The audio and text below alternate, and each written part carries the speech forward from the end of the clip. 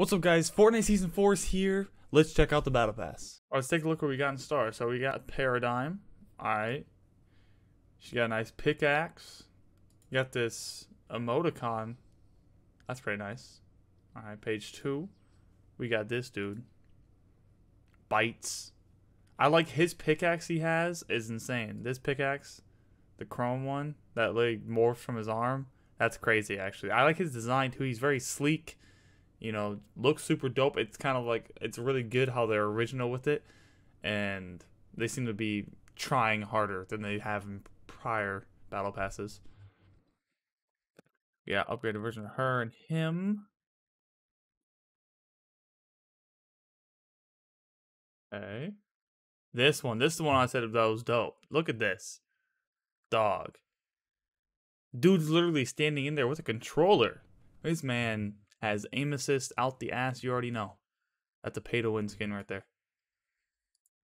You got Meow Skulls. You got Meow Skulls looking kind of dope. Got the fish hook. You already know. On the island, kind of happens that way. Laser focused. That is locked in. I can't lie. Oh, it's like an anime skin. I fuck with this. I always like the skins that are animated like this. Actually, I always like the way they look in game. You have a back bling. The back bling's kind of fire. The back bling, I'm gonna guess now, does something when you kill somebody. Maybe they shoot their guns or do something. But I bet money that's a reactive back bling.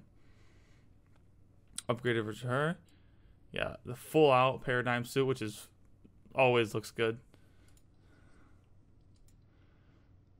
We got twin. His pickaxe looks sick. Oh my god, look at this pickaxe, dude. Can I swing it? I can't swing it from here, I don't think. No, I can't swing from here. But this looks sick. I, I really like that. Who are you?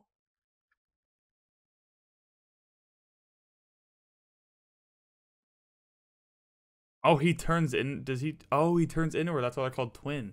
That makes so much sense. And this back bling's fire. The pickaxes are cool too.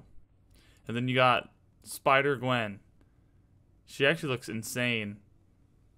I'm glad they're adding stuff like this in the game because this looks insanely dope. I can't wait till I get to that. I'm a, I'm a I'm a I'm a grind the game till I get there. What's her email? More acrobatic. Oh oh oh. Always moving.